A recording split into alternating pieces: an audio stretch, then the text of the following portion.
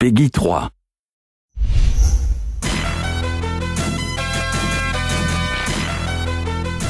Every iteration we shoot a lot of animations in the studio. This year we shot over 4,000 animations. In 2K13, we really focus on adding in more animations, more in-between animation. So, you know, instead of one pose to the next pose, we add in the in-between pose so it's actually blend nicely. So what we haven't done in previous years that we're doing this year in 2K13 is capturing the ball data a lot more. When they're holding the ball, you can actually see them palm the ball instead of just kind of like their hands are kind of like just flippers. Even though the, the viewer, the player can't really see those details, they could actually feel it. So when he comes and he hangs on the rim, the fingers will wrap around there and you, you feel that weight and hang on the rim when they're dunking. We used wrinkle maps to simulate the muscles in the, in the face.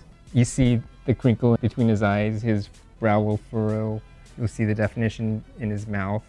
The expressions are more believable. This year in NBA 2K13 we got this crew called the Team Flight Brothers. In this one particular dunk, it was pretty crazy.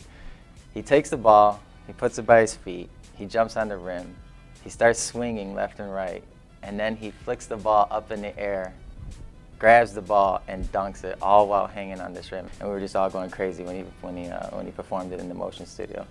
But um, once we get that data, we, we get it from the motion capture studio, we bring it into Maya. They have little reflective balls and our cameras go in and they capture all of their movement. That goes into the computer and the computer puts on a skeleton.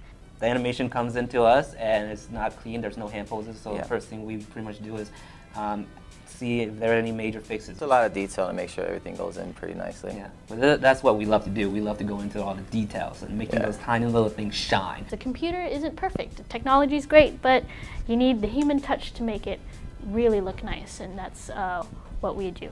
You know, this year we really focus on making everything really smooth, really shine, and you know, very, very believable. My favorite animations in NBA 2K13, uh, the dancers and the mascots, definitely.